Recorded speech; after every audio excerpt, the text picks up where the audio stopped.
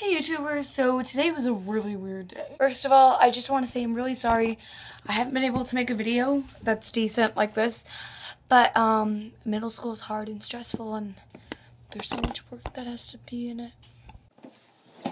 So today, my crush came up behind me. He's like, Meredith, protect me, because he was doing this thing with his friend. And so he slaps my butt and says, Booty! Like, how am I supposed to react to that? Because I like him and it wasn't exactly funny.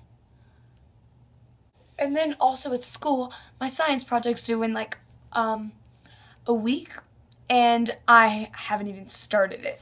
Literally, guys, seventh grade is so hard. And you want to know what makes it better? Being in a freaking PACE and honors classes. But what really made my day today was um, that my friend Mason invited me to his party tomorrow. And so that's going to be really fun. No makeup. But make sure to give this video a big thumbs up and subscribe down here. And I might just subscribe that too. But I love you guys. Bye.